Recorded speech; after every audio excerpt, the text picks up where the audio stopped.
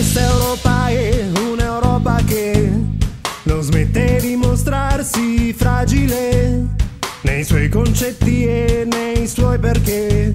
Si dimostra totalmente instabile. Non ha senso questa unione sterile che si basa su finanze e debiti, dove i popoli sono dei numeri come indici di borsa e spread.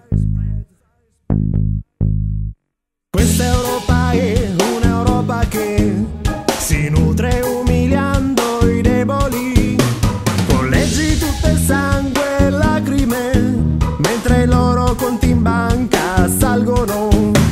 Non è la guerra tra i poveri, l'Europa che immagino per me. Per quest'ora voglio muovermi e fare in modo di coinvolgere anche te. E sbatterò